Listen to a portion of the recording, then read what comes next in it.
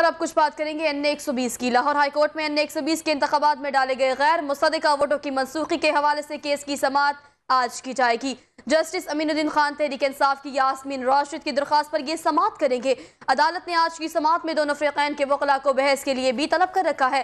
اہم خبر ہے جو آپ تک پہنچا رہے ہیں۔ آپ کو بتائیں کہ لاہور ہائی کورٹ میں این ایک سو بیس کے انتخابات میں ڈالے گئے۔ غیر مصدقہ ووٹوں کی منسوخی کے حوالے سے کیس کی سماعت آج کی جائے گی۔ جسٹس امین الدین خان تحریک انصاف کی، یاسمین راشد کی درخواست پر یہ سماعت کریں گے۔ آپ کو بتائیں کہ عدالت نے آج کی سماعت میں دونوں فریقین کے وقلا کو بحث کے لیے طلب کر رکھا ہے۔ اسی پر مزید بات کریں گے۔ ہمارے ساتھ لائن پر موجود ہے لاہور کے نمائندے انیس بشیر۔ جی انیس، اس سماعت کے حوالے سے اپڈیٹ کیجیے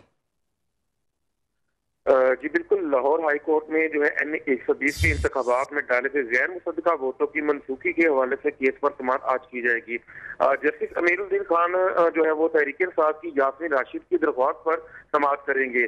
گزشتہ سماعت کے حوالے سے پتا چلو تو ڈاکٹر یاسمین کے وکیل جو ہیں، انیس ہاشمی، ان کی جانب سے ایک مزید جو ہے وہ درخواست دائر کی گئی تھی، جس کے اندر جو ہے وہ صوبائی election commission of Pakistan, NADRA اور ریٹرننگ افسران کو جو ہے وہ فریق بنایا گیا تھا۔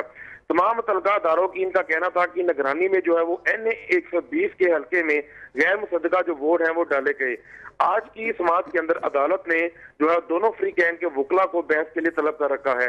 درخواست گزار نے درخواست میں موقف اختیار کیا تھا کہ این اے ایک سو بیس کے ضمنی انتخابات میں اٹھائیس ہزار سے زائد جو غیر مصدقہ ووٹ جو ہے ڈالے گئے۔